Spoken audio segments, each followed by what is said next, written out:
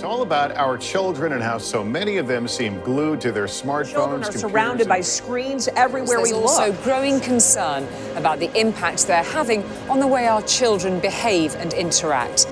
We are losing our children to technology. So, how do we restore balance and get them playing outside again when dirt is frowned upon by parents and disliked by kids?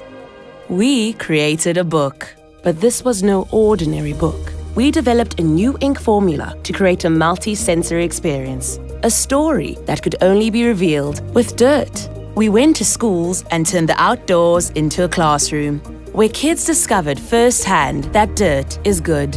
Omo presents the world's first dirt activated book. Are you ready to get dirty?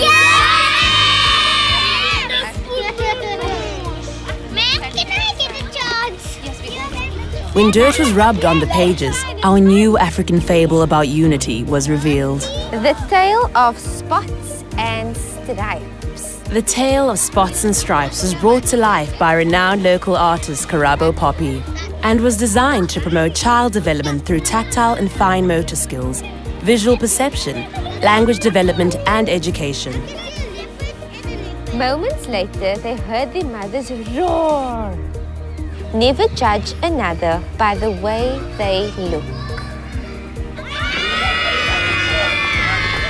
I really love how this multi-sensory book reconnects kids with nature in the most innovative and wholesome way. It's a wonderful resource, it's extraordinary, and it's going to change children's lives. So we would endorse it 100%.